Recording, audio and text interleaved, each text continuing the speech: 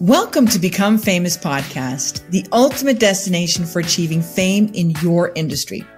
Join us for discussions as we uncover the strategies and secrets to becoming known, navigating cancel culture, and staying authentic. Stay tuned because here at Become Famous, the journey to fame begins now. Welcome to the Become Famous podcast. I'm so excited we are doing this public figure series. What do you have to do? What strategies do you have to do now in the fame economy? As we've talked about here is in the fame revolution, there's a whole different way of getting yourself out there. You need to be visible. You need to be authentic. You need to become famous. And in all of that, as a public figure, you can't do it all yourself you need a team. And so the team member that we are going to talk about today is the voice writer. And the person that came up with the word that has the voice writer association is Lisa Duncan. Welcome, Lisa. Tell us in one sentence, what does the team member of the voice writer do for the public figure? Hi there. Well, the voice writer is meant to help you get your voice and your message out into the world. They help you get it honed down to what you want it, and spread the word. So it's like the old fashioned political speechwriter in a sense, because speechwriters are the ones. Very similar, it, which is totally accepted in the political world. Everybody knows that the politicians are saying what they mean, but they're not necessarily the ones that are writing their words. So it's the eloquence and the message that is coming from you and from your heart and from everything that you believe, but you've got some help in getting it to sound exactly right. Exactly. And I think that is so important for us to understand in today.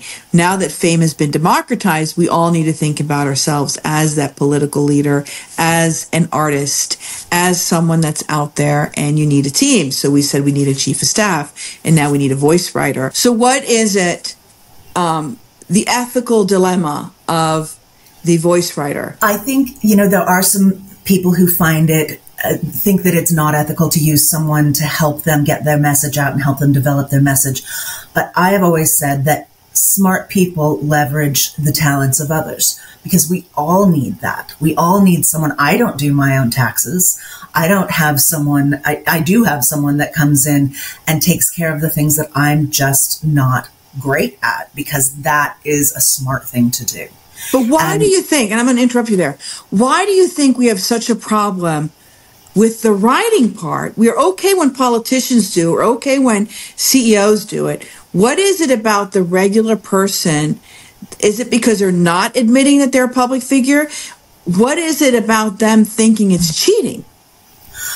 Well, I think people think that you should be able to think up your own words. And it, these people are still coming up with their own heartfelt message. This is absolutely still their beliefs and what they want to say. They just maybe don't have the gift of stringing words together in a way that's as impactful as it could be. And so if they work with someone who does have that gift, what's wrong with that? Right. It is like what I what I've said again about you know saying that the president of Porsche doesn't do his own oil changes. Why would he? That is the person with the vision. There are other people that are working on getting it out there. So really it is for all of us to think of ourselves as a company now. Yeah. We are a company. Yeah. So we're the owner of the company, we're the CEO of the company, and we're the product.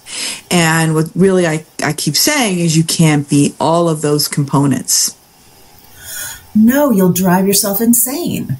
You have to have people that are supporting you, that are giving you new ideas, that are giving you what ifs, that are saying, you know, have you thought about it this way? Because that opens you up to not only new ideas, but it also gives you new perspectives. You don't have every perspective. You're one person. So you can, you can reach more people by having more, being more open to new, new ideas. Oh, that's so fascinating, isn't it? Um, uh, and, and, and it's like with me, when I started out my business, I did my own bookkeeping and I did my own taxes. But when I got a little bit bigger, I have an accountant. absolutely. Absolutely. I'd be in huge trouble if I did that kind of stuff myself. Right. And so I think it is a mental shift for people to realize that this is like your new bookkeeper. You need a voice writer on your team. Yes, you do. It's, I can't tell you how many times I've been told, like, I never would have done that. I never would have said it that way. But it's just a twist on something they were already saying. And it's something that just made it more clear and it made the audience connect with it more strongly, which is what it's all about. Right. No, I think uh, I think you're absolutely correct. Um, so, and we could talk about the process with my book, yeah, the Fame uh, Revolution, uh, which you were my voice writer, and what I liked about it was I think the talent of a voice writer as opposed to a ghostwriter. It'd be great for you to compare the notes because I do believe there's a big difference. I think the voice writer is much more attuned to my voice. I think a lot of times ghostwriters end up creating their own tone or uh, I don't know what you think about that. I, you know, I think many ghostwriters are different um, from one another. I think some of them have their own style, their own tone. Um, but what I was focusing on, because you were writing the book and I was coming in and going, you know, what if you added this and I can write this section for you, um, was keeping it all in your voice. And, and then the other part that I think that, that voice writers do is, I would say, Oh my gosh, I just thought of this quote that I remember and you could use this and this would slot in beautifully here. And here's an example that is something from maybe something I remember from junior high or something, you know, just things that aren't your, your experience necessarily, but they fit in perfectly and you understand them and they connect with you. So that's another little thing that I don't think ghostwriters do. No, well, I, I, I think what I, what I liked about it, and I think, but probably because of my experience in politics, you're kind of taking on this, the thing that I did when I was a speechwriter for, for political leaders is that you are listening to their voice, you're listening to their interests, and you're finding quotes and things. You are you're an extension of their brain, so to speak. You're an extension of them, and you're helping them as one of the employees of the company of the politician. So it's like Torund Inc. had Lisa Duncan as a voice writer. Right now, I've got Christina, who's helping me out with my social media. And then I have Shovik, who's helping me out with my podcast. Now, technically, I could do it all by myself, but when would I have time to do my business? Exactly. There's too many pieces to do it all yourself. You could do your social media, but again, then where does the business come from? What business is there? Right. if you're constantly chasing after social media or articles that, or blogs you want to write. There's just not enough time to do all the pieces that are involved in running a business now.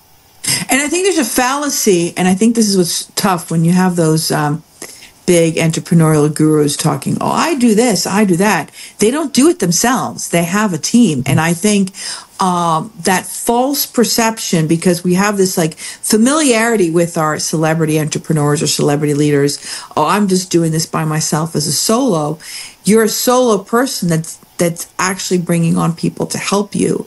Uh, maybe you don't have a full staff, but you have contractors, you have certain components that are helping you. I, I don't see everyone doing everything by themselves. And I don't think you can really scale the business even as a solo entrepreneur.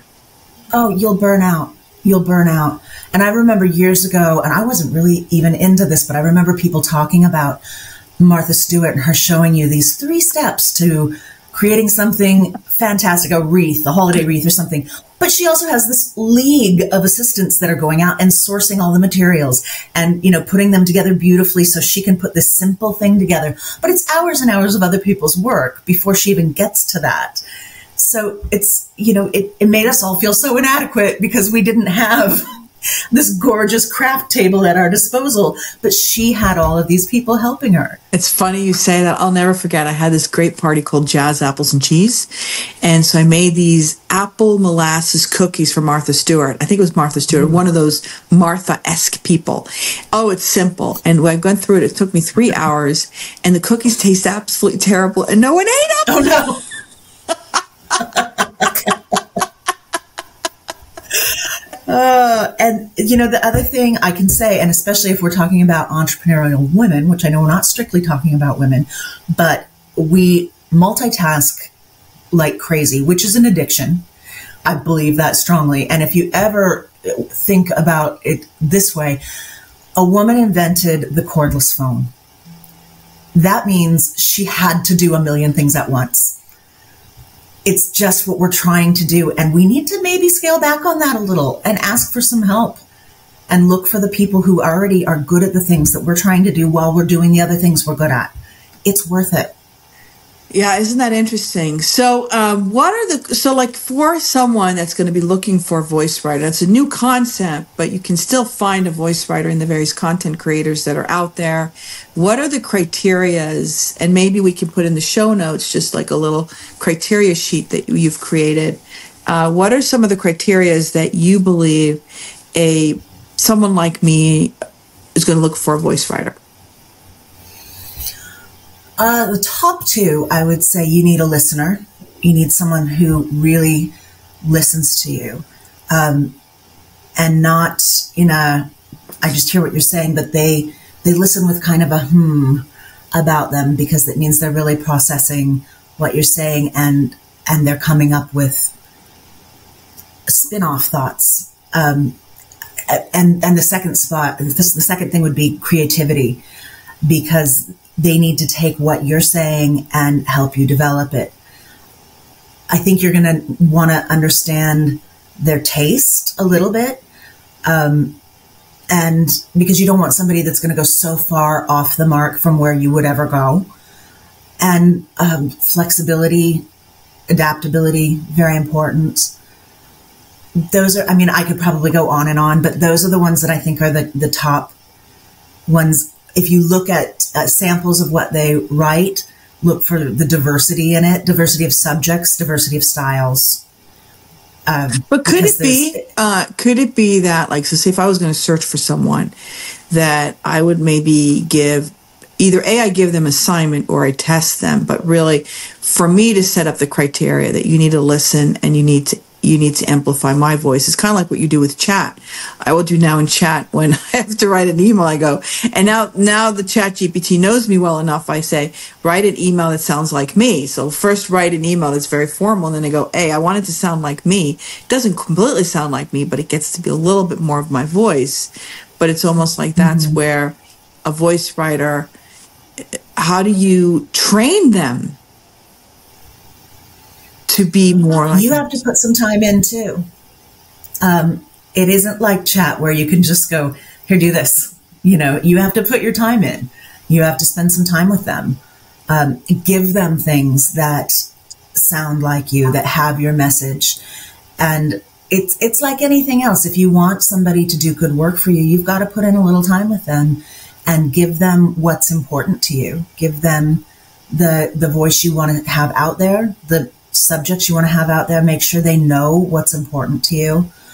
Um, I think that's the biggest thing is putting in a little time and even if it's a little time ahead of time where you're preparing some things, I want you to know that the, these are my top three priorities. This is what I want to talk about this week. Um, these are the things that I want to make sure you hit. And even if you don't write a word as a public figure, you need to give them that much to work on and you need to be a little available for them to ask questions. Mm. The people that I've done the worst job for are the people that aren't available because that's because it won't sound like them. So, if, and if they're not invested in their own image, I can't do much with so them. So, really, if you're thinking about a time commitment, uh, and I, I kind of can see that is almost having like a weekly quick meeting or uh, that would probably be optimal, like a half an hour, just so they under they always have your really voice quick. in mind, and then uh, really yeah, quick. and then kind of help you create the newsletter, create the content, but really about mm-hmm. creating that understanding of the voice. Not only understanding the voice, understanding the audience too. That's another big part of it is I have one client, I meet with her 15 minutes to a half an hour a week and I write a series of emails to her audience and it's all in her voice, but I know who her audience is now. I know what kind of language to use. I know what not what kind of language not to use. I know what kind of imagery she likes. I know, you know verbal imagery.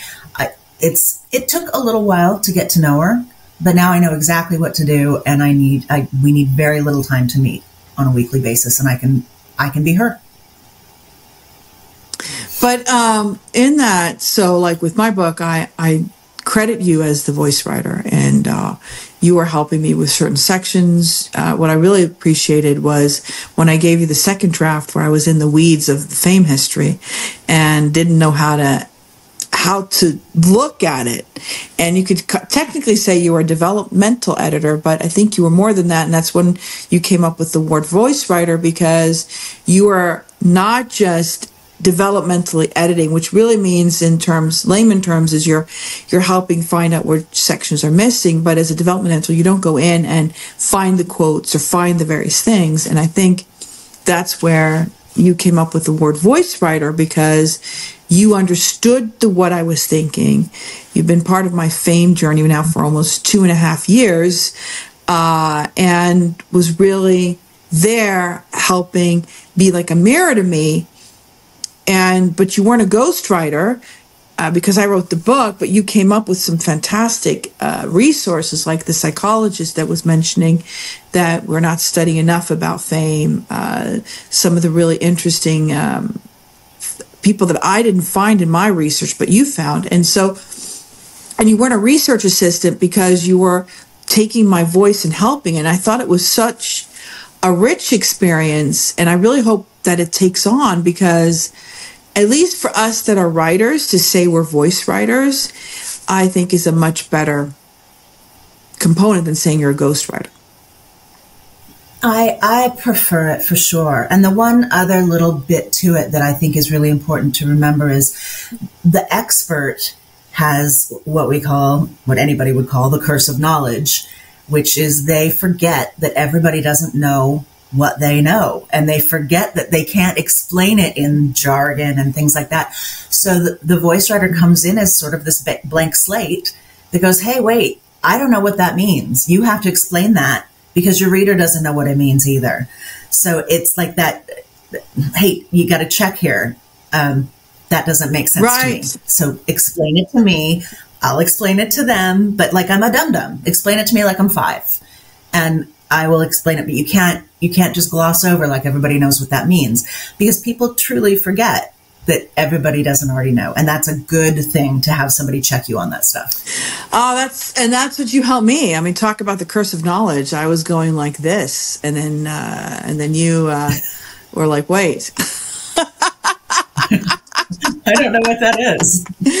No and then you have the um it's a trust issue too. You got to find someone that you trust to really to uh, and then have a confidentiality agreement in the in the in the bottom of it. But I do believe, um, like for for instance, a lot of uh, politicians will not give compliments to who their speechwriter is, but some will. Like Ronald Reagan, openly, Peggy Noonan was the speechwriter there. So you have several people, like Obama was very, um, Favreau was his writer. But you didn't know what I liked about what, because there's something about when you're delegating your voice to someone, you don't want them to nitpick, I came up with that, that, that, and that. And I thought that's where kind of Peggy right. Noonan goes a little bit wrong. What I like about the way Obama's folks were, and also John F. Kennedy, was you knew that they had these speechwriters, but you didn't know what they were writing because you're really being someone's voice and I'm the one that's voicing it. I'm the one that's standing behind it. As a voice writer, you can write right. something that you don't necessarily believe in, right? So I think that's I think that's an important distinction. Yeah, I think you can't be a voice writer and need to claim uh, ownership of something specific I just, I think you got to put your ego aside in that respect. It's just this person is the one standing behind. But you are getting credit. And I think that's the difference between a ghostwriter. And I don't think ghostwriters can survive the fame revolution because people need to know what you're doing. Uh, it's very important to be visible. And as a ghostwriter, you could say, I'm a ghostwriter, but I can't tell you what I wrote. Doesn't work.